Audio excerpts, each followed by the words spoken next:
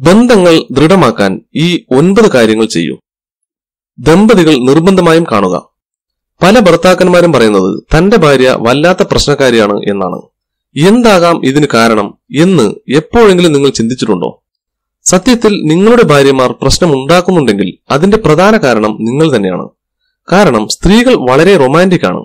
എന്നാൽ കുടുംബ ജീവിതത്തിൽ ഉത്തരവാദിത്തങ്ങൾ ആകുന്നതോടെ നിങ്ങൾക്ക് പലപ്പോഴും ഈ റൊമാൻസ് കാണാനും തിരിച്ചു പ്രകടിപ്പിക്കാനും കഴിയാതെ വരുന്നു.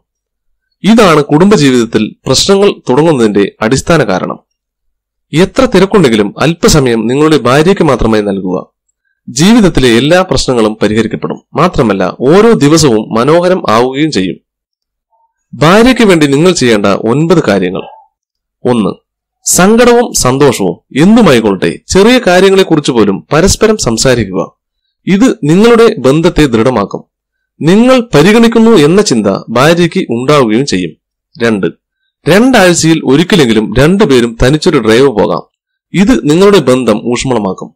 ഇങ്ങനെ പോകുന്ന സ്ഥലങ്ങളെക്കാൾ നല്ലത് ഒരുമിച്ചുള്ള സമയങ്ങൾ ആസ്വദിക്കുക. മൂന്ന്. ഞാൻ നിന്നെ സ്നേഹിക്കുന്നു. നിങ്ങൾ ഭാര്യയുടെ കണ്ണുകളിൽ നോക്കി എത്ര തവണ ഇങ്ങനെ പറഞ്ഞിട്ടുണ്ട്? പലരും ഒരിക്കൽ പോലും തന്റെ ഭാര്യയോട് ഇങ്ങനെ പറഞ്ഞിട്ടുണ്ടാവില്ല ഇതൊക്കെ പറഞ്ഞിട്ട് വേണോ മനസ്സിലാക്കാൻ? അതും ഈ പ്രായത്തിൽ ഇനിയിപ്പം അതിന്റെ ആവശ്യമൊന്നുമില്ല.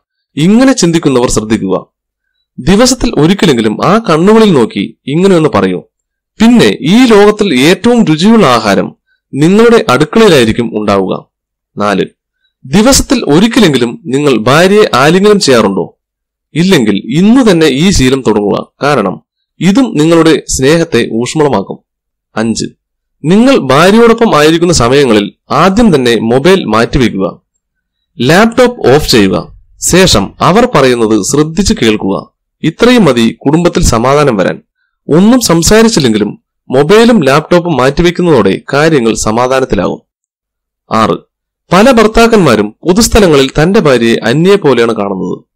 എല്ലാം ബെഡ്റൂമിനകത്ത് എന്ന ചിന്താഗതിക്കാരാണ് ഇവർ.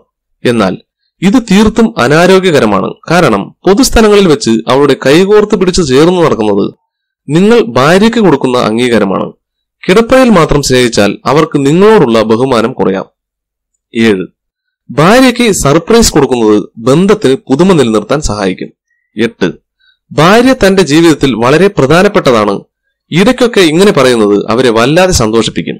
ഇതും സന്തോഷകരമായ കുടുംബജീവിതത്തിന് നല്ലതാണ്. ഒൻപത്. പങ്കാളിയായിരിക്കണം ആദ്യ പരിഗണന. അത് നിങ്ങളുടെ ബന്ധത്തെ സ്വർഗതുല്യമാക്കും മുകളിൽ പറഞ്ഞ കാര്യങ്ങളൊക്കെ ചെയ്താൽ നിങ്ങൾ അറിയാതെ തന്നെ ആദ്യ പരിഗണന ഭാര്യയ്ക്ക് ലഭിക്കും. ഇതോടെ കുടുംബജീവിതം സ്വർഗതുല്യമാകുമെന്നതിൽ സംശയം വേണ്ട. ഓക്കെ ഫ്രണ്ട്സ് ഈ സന്ദേശം ഇഷ്ടപ്പെട്ടാൽ തീർച്ചയായും നിങ്ങളുടെ കൂട്ടുകാർക്കും ഷെയർ ചെയ്ത് നൽകുക. എന്റെ ചാനൽ മറക്കാതെ സബ്സ്ക്രൈബ് ചെയ്യുക. Thank for watching my video